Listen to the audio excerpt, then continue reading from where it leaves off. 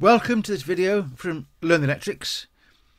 We have often been asked about competent person schemes for electricians and how to become a registered domestic electrical installer, sometimes called Part P.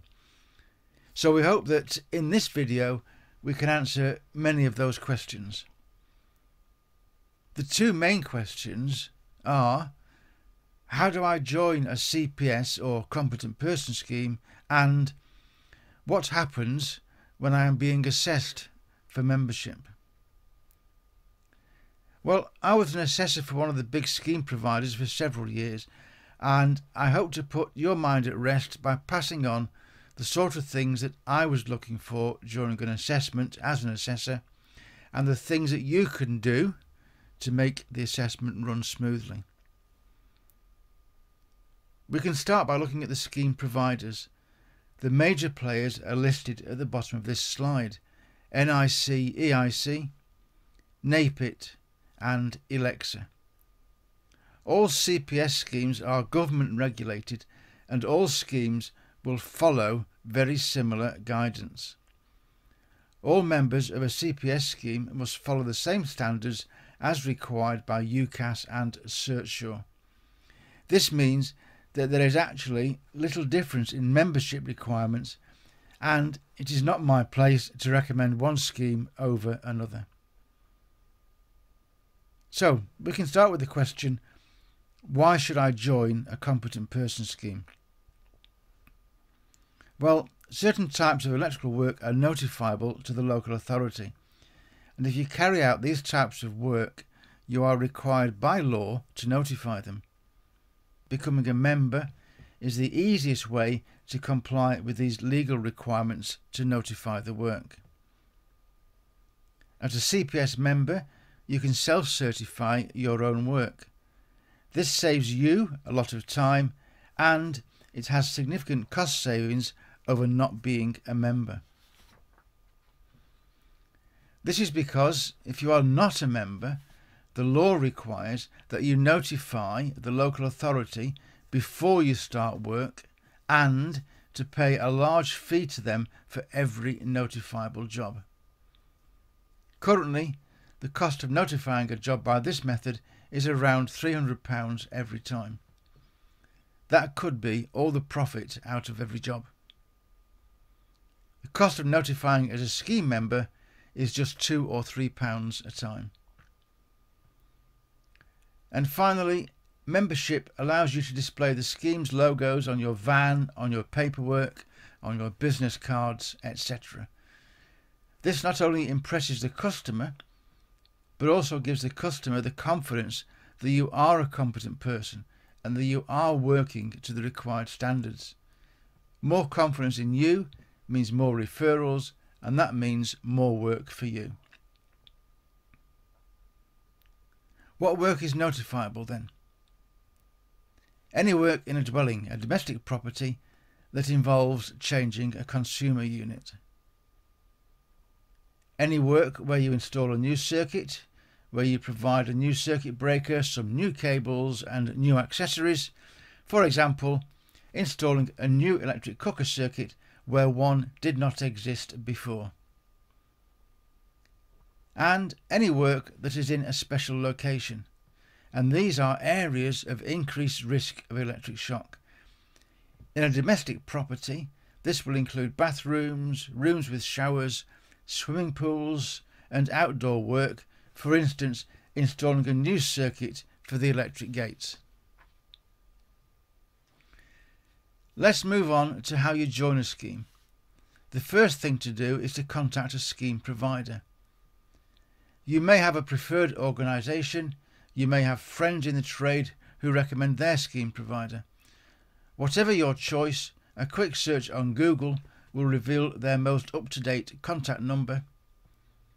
An online application is quick and easy and gets the ball rolling straight away. A few days later, you will be contacted by the office to discuss your application. You will need to provide them with certain information. Make sure you have it to hand.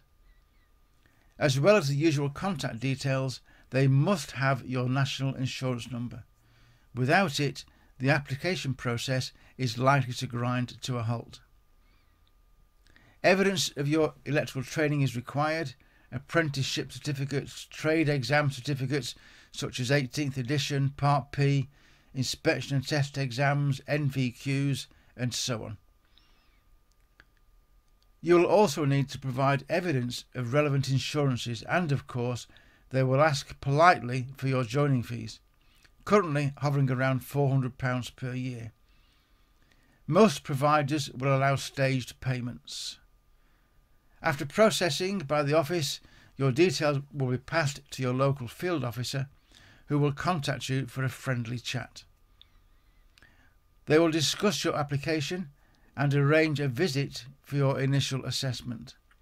During this call, the assessor will want to discuss the job that you are going to show him as evidence of your competence.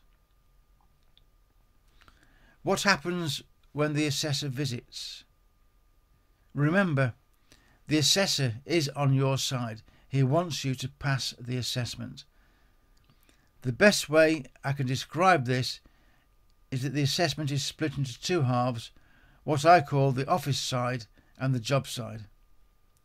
Allow about two hours for each half. So, dealing with the office side first, you need to demonstrate that you are a professional business. You may be a one man outfit, but be organised. Have the relevant paperwork properly filed and to hand. Give the assessor the confidence that you are in control of your paperwork. There was nothing more frustrating to me as an assessor than to have a new member go looking upstairs for insurance certificates, into the kitchen for his calibration certificate, and the long search in the van for the installation certificates. Get everything together. It will impress the assessor. You'll need to show evidence of two years plus experience in the electrical trade. This can be from work on your own or work you've done for another business. Whatever the skill level you were at, record the information for him and make every effort to list sufficient work for him. It may be that you were employed in a trade where electrical work was only part of your job description. You will still record this as much as you can. The assessor will need to actually see a copy of the current BS 7671 wiring regulations. Most people will have a physical copy, a paper book, but the online version is acceptable but more expensive. Know how to use the book. You are going to be asked questions on the wiring regulations. No book, and you will not pass your assessment today. The same applies to the on site guide.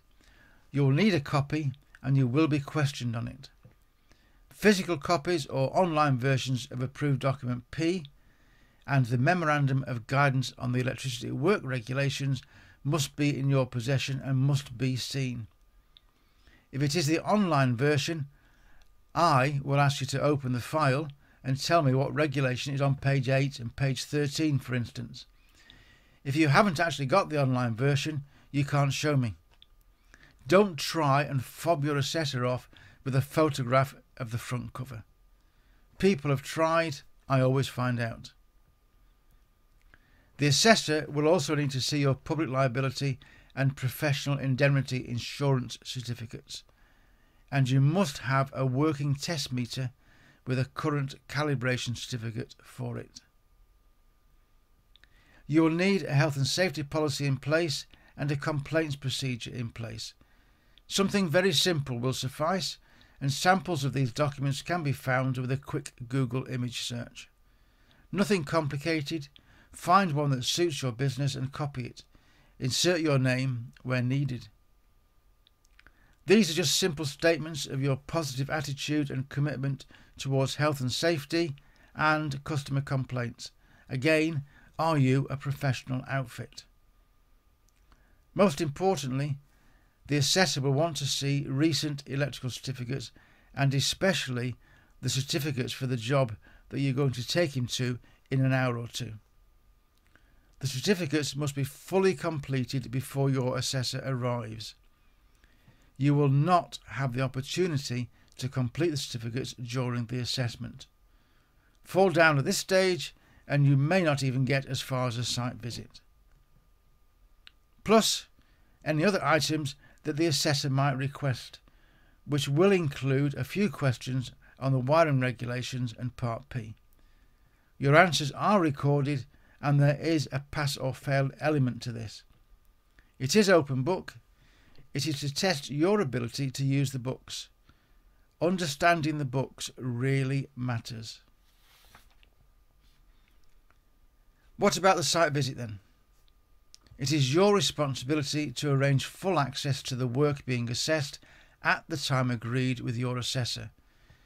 You must have permission to turn the power off agreed with your customer in advance. You must have a working test meter and you must know how to use it. Make sure that you have the correct tools to hand and the appropriate health and safety in place. Fully completed certificates for the job being assessed must be provided, and the job should not involve excessive travel from your office location. Five or ten miles should be considered a maximum. Some assessors will allow the assessed work to be in your own house. The assessor will need to see you test two circuits and he will compare your results to the electrical certificates that you have completed. Make sure that you know how to test those agreed circuits completely before your assessment day. Some assessors may allow both circuits to be in the same property. Some will want to see one circuit in each of two separate properties and expect to be asked questions about the job. The assessor is looking for evidence that you are competent. The assessor wants you to pass the assessment, give him or her the evidence, and show him the competence that you have. What should your complaints procedure look like? It doesn't need to be long or complicated. There are lots of examples on Google that can be copied and your details entered. Make it suit your business. Basically, all you need to say is that you appreciate customer feedback that you look on complaints as a positive opportunity to improve and state a time frame in which you intend to deal with complaints. You will be expected to have a complaints log, which hopefully will be blank all the time. This shows your positive actions if you do have a complaint. This is what mine looked like, simply done on the computer. Your health and safety policy does not need to be pages and pages long. If you are a small outfit, then a one or two page policy will suffice. Again, look on Google for examples. It just needs to be a statement that you take health and safety seriously, that you will work safely with due regard for yourself and others. A statement about personal protective equipment is encouraged, and perhaps a mention about face masks with the current coronavirus problems. Don't forget to sign and date the policy. It is considered to be not in force until it is signed and dated. We mentioned books earlier. You must have a copy of the Memorandum of Guidance on the Electricity at Work regulations and a copy of approved document P. These are available free of charge online a simple Google search will reveal dozens of sites where you can download the latest version in PDF format. Two other books that you must have. These are BS 7671 Wiring Regulations, and currently we're working to 18th edition, and a copy of the on site guide. Useful to have is the Electrician's Guide to the Building Regulations.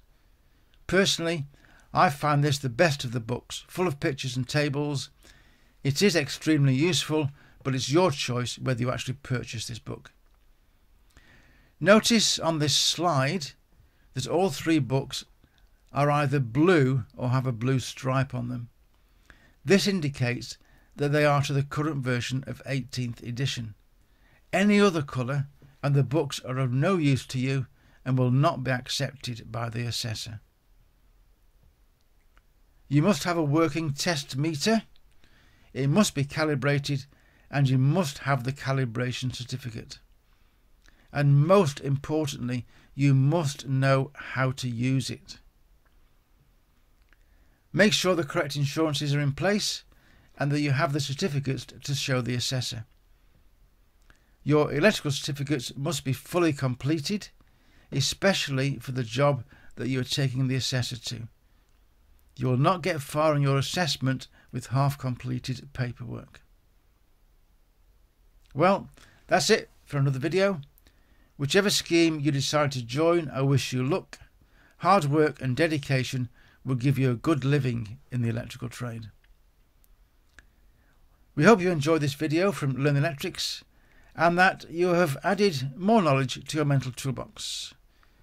It might be a good idea to click and save this video so that you can review in the future. Please click the subscribe button below. It will mean that you do not miss our next weekly video and it also helps us too. Thanks for watching and we hope to see you again very soon.